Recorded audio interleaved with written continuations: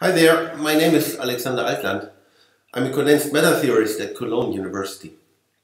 In the next week, the emphasis at the course will be on the effects of static disorder in connection with topological insulators. Now, that subject may actually require a bit of motivation. We all like topology, but why one should worry about imperfections, impurities in that context is perhaps not so obvious. In fact, when the modern era of topological insulators started in 2005 or 6 or so, nobody really cared about disorder. The prevalent mantra at that time was that topology is actually ultra universal. It doesn't care about system specific imperfections and certainly not about a bit of uh, dirt in your system. That argument is factually correct, but also a bit um, academic. As you will see in the next week, it certainly misses upon uh, universal and um, actually quite beautiful physics. In fact, it doesn't take too much uh, imagination to anticipate that the impact of disorder on a topological insulator um, will be profound. Let me briefly list uh, some of the more uh, striking issues in that context.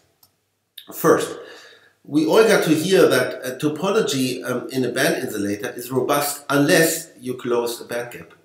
However, a disorder is actually quite efficient at closing gaps. Even a weak amount of impurities um, will lead to the um, emergence of mid-gap states and hence to a globally non-vanishing single particle density of states on average.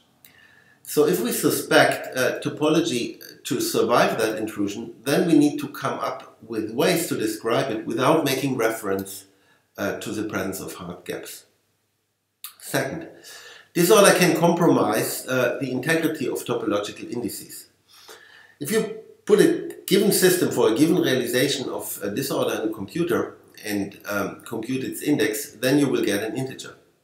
But that integer may depend um, on the actual realization of impurities in your system. And if you're working close to a topological phase transition point, that sensitivity uh, can become profound.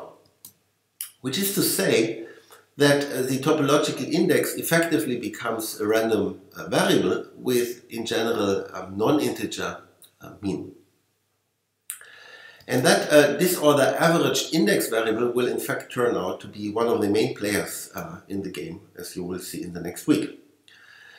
Third, there is um, also a little bit more methodological point to consider. 99% um, of our theory of topological uh, insulators is based on momentum space classification. So we all love to compute indices as invariants defined um, in some microscopically uh, defined uh, zone.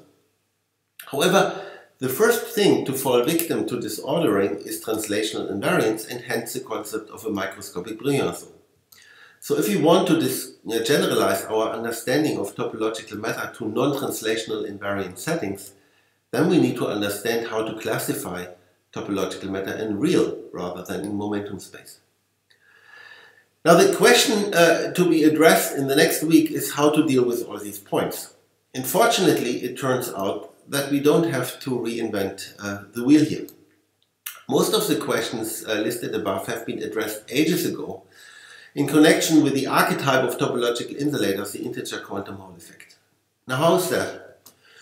The reason is that the clean integer quantum Hall insulator has the singular band structure, the band structure of the uh, two-dimensional Landau level. And it was clear that that singular pattern would not sit comfortably with the smooth profiles of the experimental data recorded at the time in the 80s, the longitudinal and Hall conductivity. It was understood um, that the way out was to take into account the presence of disorder in the system, which would smoothen the density of states on average and hence lead to a more realistic description of the system. At that time, topology was not yet much of an issue, however, um, scaling theory was.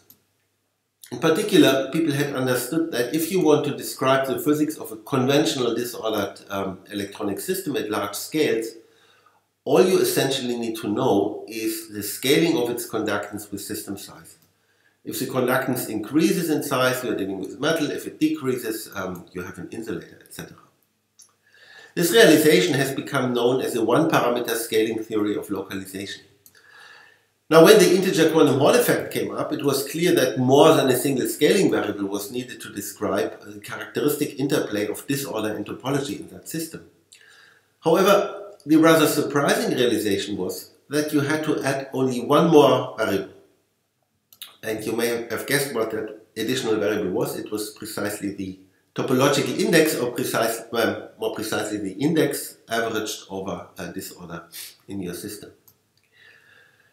The ensuing picture, now involving two variables, has become known as the two-parameter scaling theory of the integer quantum Hall effect, and it has been vastly successful in describing its physics.